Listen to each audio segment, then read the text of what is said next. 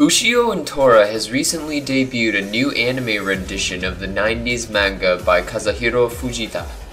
Probably the strongest element of this series is its focus on yokai, or basically ghosts, demons, phantoms of Japanese mythology.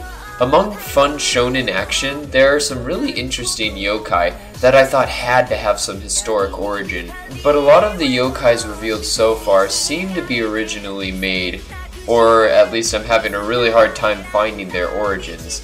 But episode 9 revealed the Kamaitachi, a true yokai of Japanese folklore, and the episode stays pretty true to their legend. Kamaitachi, also known as sickle weasels, travel in threes, traveling through winds at incredible speeds. The first knocks a human over while the second slices them, and the third applies a medicine so the human could not even see the attack. Kamaitachi were claimed to be responsible for stinging sensations of cold winds, or a feeling of pain in the legs after falling, perhaps bruising or something.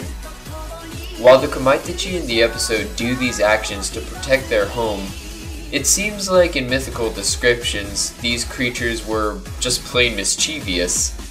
If you are fascinated by the worlds of cryptids and yokai like myself, I recommend this series that will tickle your imagination and curiosity towards the myths of our world. Well, that's all I have for today, but you can bet that Ushio and Tora will be back for more yokai origins. So thanks for watching.